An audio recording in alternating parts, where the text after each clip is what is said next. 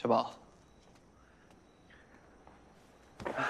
到了阅读时间了。上周爸爸带你读了《爱因斯坦文集》，这周我们来读一下伽利略的《论托勒密和哥白尼两大世界体系的对话》。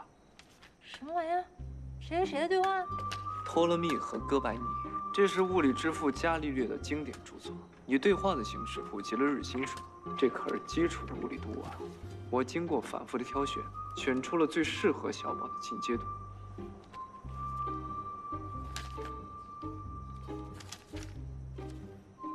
小宝，这你能看懂啊？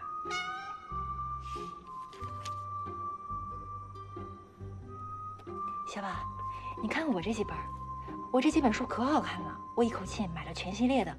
这里面不仅有绘画本，还有看图猜字，还有开发智力的小游戏呢。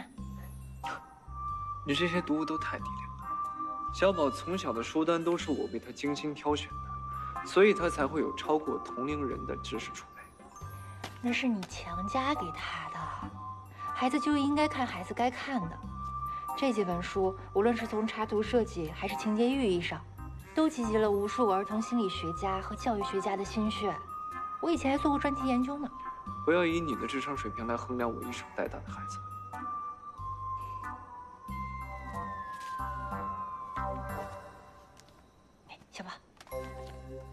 们一起来做小游戏，看谁先找到好不好？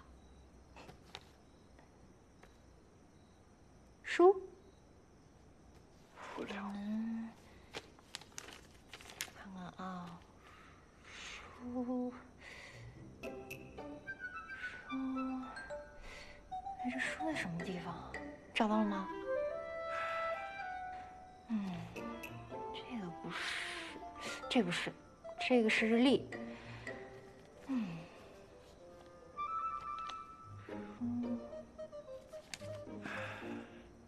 这儿呢。哎呀，怎么藏在这儿去了？小宝，那我们再来找找蜗牛，蜗牛在哪儿？